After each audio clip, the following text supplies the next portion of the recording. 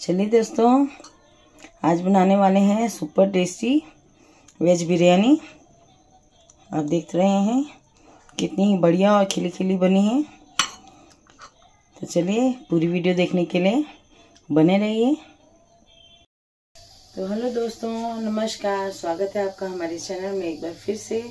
तो कैसे हैं आप? उम्मीद करती हूँ अच्छे होंगे, स्वस्थ होंगे, मज़े में होंगे। तो लेकर आई हूँ मैं आज आपके लिए बहुत ही स्पेशल रेसिपी स्पेशल इसलिए क्योंकि ये सबके घरों में बनती है और सभी लोग बनाते हैं। तो आज मैं बनाने वाली थी तो आप लोग के लिए शूट करने लगी हूँ अभी। तो आप देखिए क्या बन रहे हैं आज। तो रेसिपी स्टार्ट करने से पहले से आपसे रिक्वेस्ट है प्लीज़ चैनल को अगर आपने सब्सक्राइब नहीं किया है तो सब्सक्राइब कर लें और बेल आइकॉन ज़रूर दबा दें जिससे आने वाली सभी वीडियोस की नोटिफिकेशन आपको मिलती रहेगी।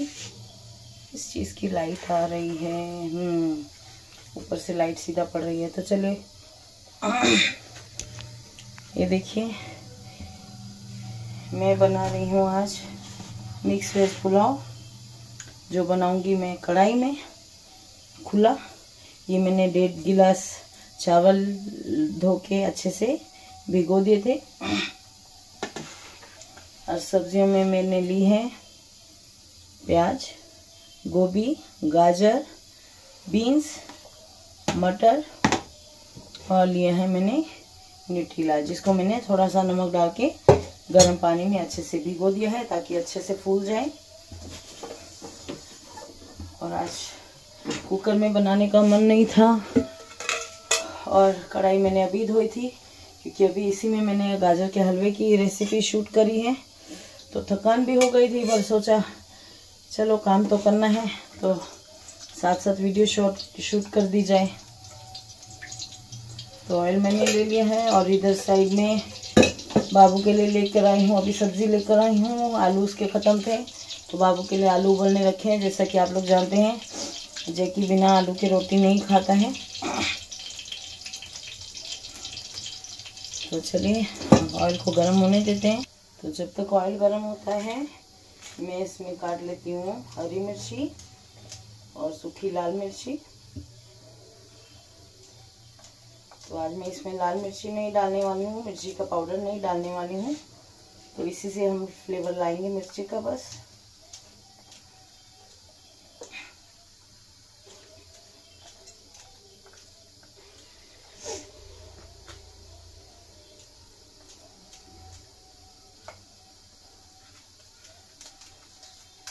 दोनों को एक साथ काट लूँगी। सूखी वाली भी। आप चाहें तो सूखी वाली साबुत भी रख सकते हैं, बिना काटे भी डाल सकते हैं, बिना तोड़े।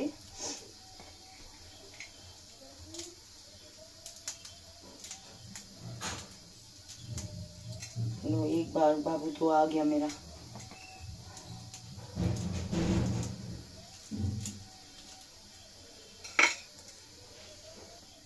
चलिए ऑयल गर्म हो गया है।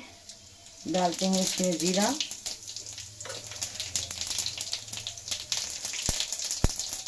साथ में डालूँगी प्याज।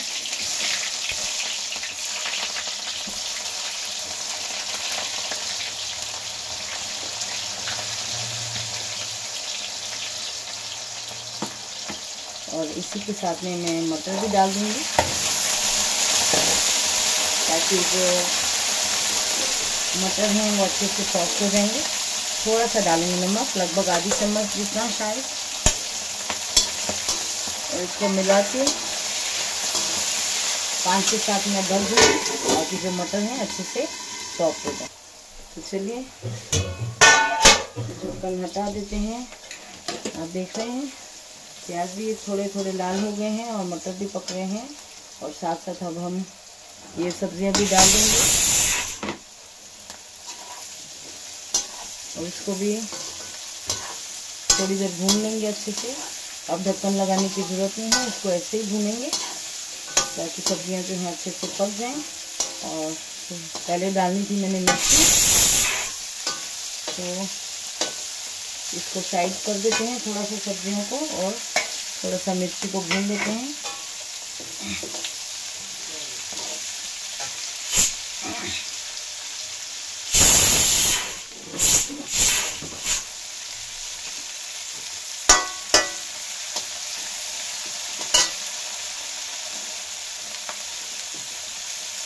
बस दो सेकंड नीचे ही रखना है ऑयल में। उसके बाद तो फिर मिर्ची जो है, सब्जियों के साथ ही पक जाएगी अच्छे से।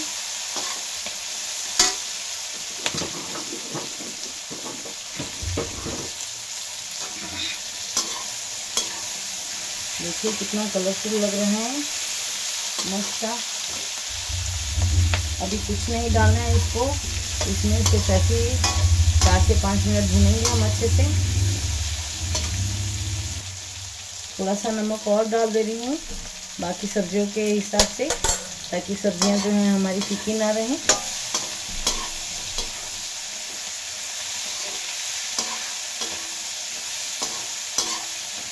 और अच्छे से गोभी, गाजर और बीन्स जो हैं, फ्राई हो गए अच्छे से। तो देखिए, सब्ज़ियाँ अच्छे से भून गई हैं। अब इसी में डाल देंगे हम पानी से निचोड़ के अच्छे से न्यूट्रीला। डालेंगे अब इसमें मसाला। मसाले में डालेंगे थोड़ी सी हल्दी। और आधी चम्मच लाल मिर्च। हल्दी थोड़ी और डाल रही हूँ।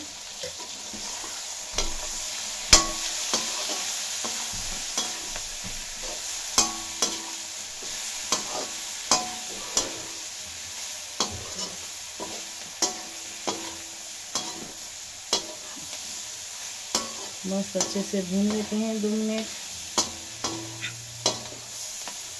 रिक्की स्पाइसी खाना है या मिर्ची कम रखूँ? पुलाव में? मिर्ची कम रखूँ ना? मैं डाल ही नहीं थी मैंने फिर मत बोलना। भाई ला रहा तो देखिए मसाला हमारा अच्छे से भून गया है। देखिए, मसाला भून गया है। अब हम चार डालेंगे इसमें चावल।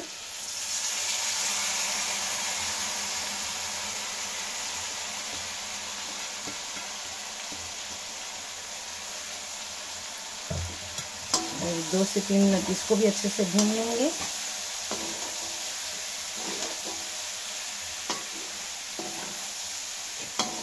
आप देख रहे हैं, बिल्कुल सिंपल बनाया है मैंने। कोई खड़ा मसाला नहीं डाला है, कोई गरम मसाला नहीं डाला है।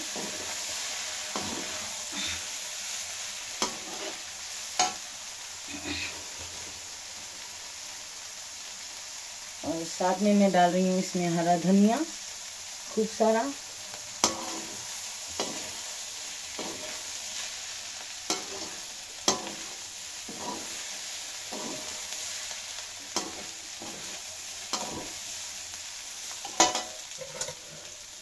अब हम डालेंगे इसमें स्वाद अनुसार नमक। उतना डालेंगे उस हिसाब से क्योंकि हमने सब्जियों में भी पहले डाला है। और पानी डाल के आप बाद में चेक भी कर सकते हैं। कम या ज़्यादा। अपने टेस्ट के हिसाब से डाल सकते हैं। और अब मैं डालूँगी इसमें पानी। डेढ़ गिलास पानी है तो डबल गिलास डालूँगी। और डबल से थोड़ा एक्स्ट्रा डालूँगी क्योंकि कढ़ाई में पानी थोड़ा ज़्यादा जाता है। एक,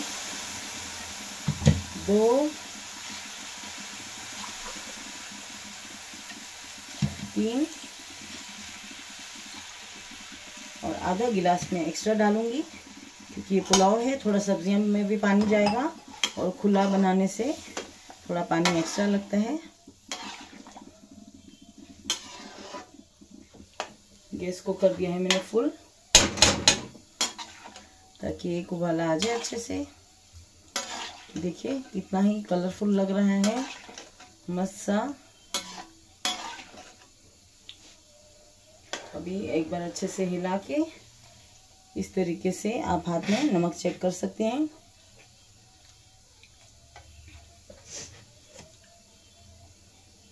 थोड़ा सा नमक और जाएगा, क्योंकि ये बिना सब्ज़ी के हमको खाना है।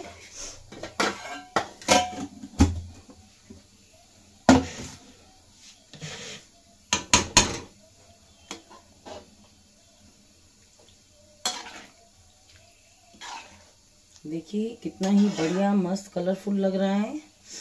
एक उबाला आ जाएगा तो उसके बाद मैं गैस को सिम करके ढक दूँगी। देखिए, इसमें उबाला आने लगा है अच्छे से। और अब मैं इसको गैस को मीडियम स्लो करके ढक दूँगी, जब तक हमारे चावल अच्छे से पक ना जाए। एक बार खोल के बीच में हिला दूँगी। चलिए दोस्तों, एक बार खोल के चेक कर लेते हैं। और इसको हिला देते हैं एक बार।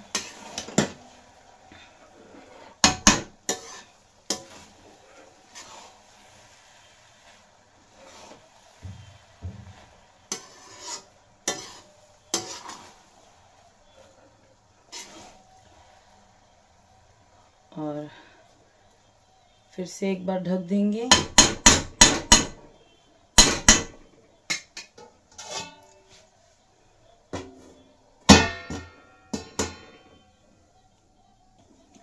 चलिए दोस्तों, खोल के चेक करते हैं। बन गए लग रहे हैं।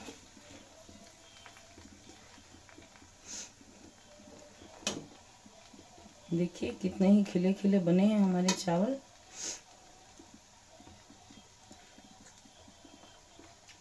वाह। मैं इसको करती हूँ बंद। और दो मिनट रखते हैं दम पे दो से पाँच मिनट। और फिर मैं आपको सर्व करके दिखाती हूँ। चावल हमारे बिल्कुल रेडी हैं। गैस को ऑफ़ कर दिया है मैंने। और आप, आपको मैं दिखाती हूँ।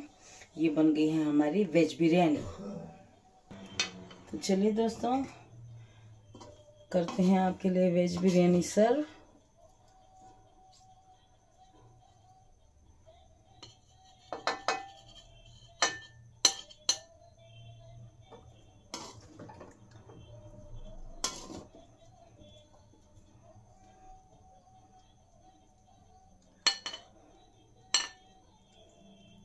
ये बासमती राइस नहीं है, ये यहाँ के लोकल हैं। जीरा सर राइस, और आप देख सकते हैं, उसकी बिरयानी भी कितनी ही मस्त और खिली खिली बनी है। और इसका टेस्ट नॉर्मल चावल का बहुत ही टेस्टी होता है। मेरे तो मुँह में पानी आ रहा है। क्या आपके भी आ रहा है?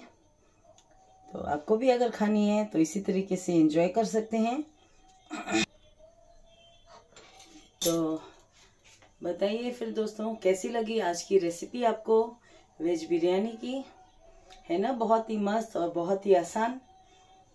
और कोई ताम झाम भी नहीं अलग से करने का, कि अलग से सब्जियों को पकाओ, चावल को अलग से पकाओ, फिर में मिलाओ। तो बहुत ही आसान तरीके से और खिली खिली बहुत ही टेस्टी और यम्मी वाली वेज बिरयानी बनके तैयार है आप लोग के लिए। तो आप लोग भी इंजॉय कर सकते हैं। एक टेस्ट कराना तो बनता है। ज़बरदस्त है। यम यम वाली। बहुत गर्म है।